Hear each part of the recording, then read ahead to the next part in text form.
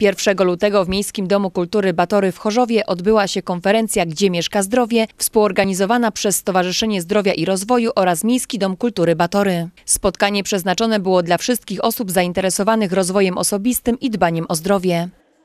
Tematem konferencji jest Gdzie mieszka zdrowie? W Chorzowie oczywiście. Dzisiaj mieszka w Chorzowie, więc zapraszamy do Chorzowa. Będzie częściowo wykładowo, częściowo praktycznie. Będziemy pokazywać taką technikę asertywności, którą ja nazywam sztuka asertywności, czyli jak odnaleźć się w życiu, jak być szczęśliwym człowiekiem, jak umieć realizować wszystkie swoje zamysły. Jakby z tego też wynikającym tematem następnym jest kręgosłup, tak? Na tysiąc sposobów pokazać tą swoją postawę psychiczną, fizyczną. Trzeci jest healing voice, czyli jak mieć głos, jak kreować ten głos, jak ten głos powinien działać, jak on funkcjonuje w nas, skąd on się bierze i jak wyzwolić, żeby ta pełnia głosu mogła się przejawić. Dlaczego organizujemy konferencję? Ponieważ e, jest to dobry sposób na to, aby zadbać o swoje zdrowie, lepsze samopoczucie, e, po to, żeby rozwijać się osobowo, integrować też z innymi, dobrze spędzać czas. Zainteresowanie jest coraz większe. W konferencji w Katowicach wzięło ponad 80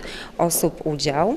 E, Były również kolejne konferencje w Warszawie, w Edynburgu i to już jest nasza piąta konferencja i oczywiście jesteśmy zdecydowani na to, żeby realizować kolejne w tym roku i w kolejnych latach również. Konferencję zorganizowano w ramach ogólnopolskiego programu Uniwersytet Integracyjny. Patronat nad imprezą objął prezydent miasta Chorzowa Andrzej Kotala.